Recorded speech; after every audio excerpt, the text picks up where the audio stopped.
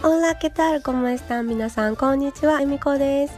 今日は動詞サリールについてご紹介したいと思います。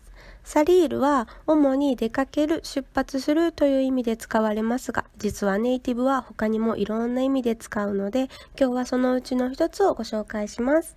まずは現在形の活用だけ確認しておきましょう。Yo salgo, tú sales, él sale, nosotros salimos, ellos salen シンプルに出かけるという意味で使うときは Yo salgo esta noche con mis amigos Voy a salir este fin de semana Quiero salir a bailar という感じではもし友達から ¿Sales con alguien? ¿Sales con alguien? と聞かれたら誰かデートしている人はいるのという意味なんです Google でサリールコンアルゲンって検索すると ¿Cuál es la diferencia entre salir y ser novios? ¿Cuánto tiempo salir antes de ser novios? などなど日本でも話題になるようなことがヒットします。